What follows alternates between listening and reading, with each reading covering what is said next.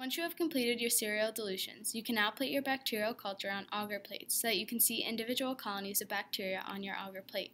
It is important throughout this process that when you are plating, you are plating on the side of the plate that has the agar on it, as the agar provides food and nutrients that allow the bacteria to grow. Similar to bead transfers and serial dilutions, use the members in your group to properly execute this procedure.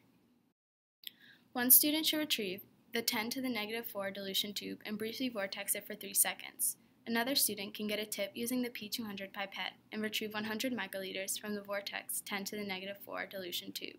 Remove the plastic top of the plate and holding the pipette tip above the agar, push the control button down to the second depression to ensure that you are plating all of your culture on the plate. Eject your tip and place the top of the plate back on. You will notice that there are glass beads sitting on top of the agar. These will be used to spread out the bacterial culture so that you can see the individual colonies. Once the culture has been plated and the top of the plate has been put back on, hold the plate upright and shake it back and forth as shown here to allow the beads to spread the culture across the surface of the agar. The sound that should be heard is similar to this.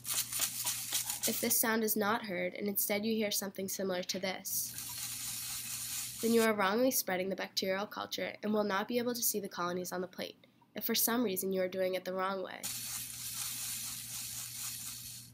Stop and shake the plate side to side until the correct sound is heard. Throughout this process, the plate continues to be held upright. Do not tilt the plate for any reason after the bacterial culture has been put onto the agar plate. Continue to shake the plate, ensuring that you have been shaking for a continuous 2 minutes. Once you are done shaking, flip the plate over so that the agar side of the plate is facing up.